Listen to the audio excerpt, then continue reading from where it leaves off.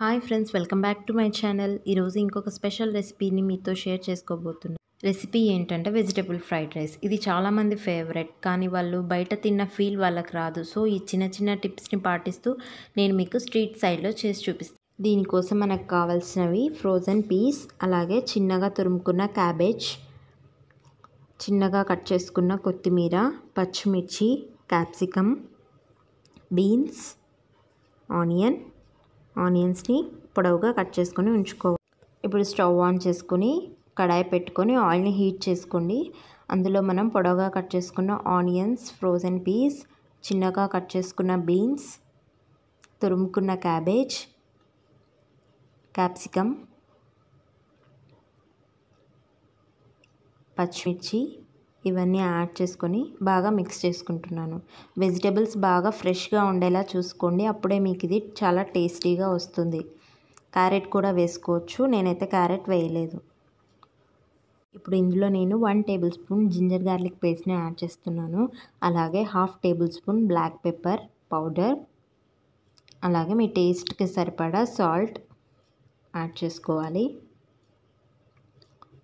ఇప్పుడు ఇందులో కలర్ కోసం నేను కొద్దిగా రెడ్ చిల్లీ పౌడర్ని యాడ్ చేస్తున్నాను. అలాగే గరం మసాలా వీటన్నింటిని యాడ్ చేసుకొని ఒకసారి కలుపుకోవాలి. ఒకటి గుర్తుపెట్టుకోండి మీరు ఎప్పుడు ఈ ఫ్రైడ్ రైస్ చేసుకునేటప్పుడు హై ఫ్లేమ్లోనే చేసుకోవాలి. అప్పుడే మనకి ఇది స్ట్రీట్ స్టైల్లో లాగా టేస్టీగా వస్తుంది. సో దీన్ని ఒకసారి మిక్స్ చేసుకున్న తర్వాత ఇప్పుడు ఇందులో నేను సోయా సాస్ అండ్ వెనిగర్ని యాడ్ చేస్తున్నాను. పులుపుని ఇష్టపడే వాళ్ళు వెనిగర్ని కొద్దిగా ఎక్కువగా యాడ్ చేసుకోండి. ఇప్పుడు సోయా సాస్ని వేస్తున్నాను. వేసిన తర్వాత దీన్ని ఒకసారి బాగా మిక్స్ చేసుకోవాలి.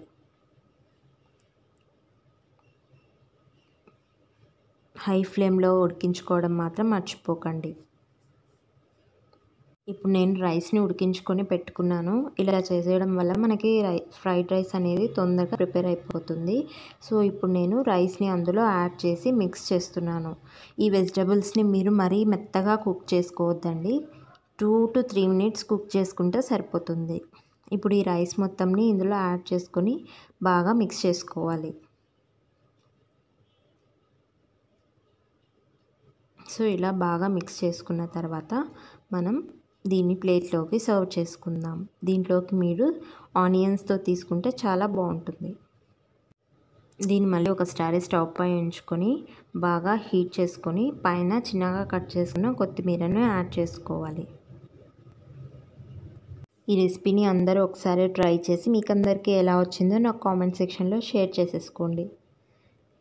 చాలా చాలా టేస్టీగా వచ్చింది నాకైతే. సో ఇప్పుడు నేను పైన కొత్తిమీరతో గార్నిష్ చేసి సర్వ్ చేసుకుంటున్నాను. Thanks for watching friends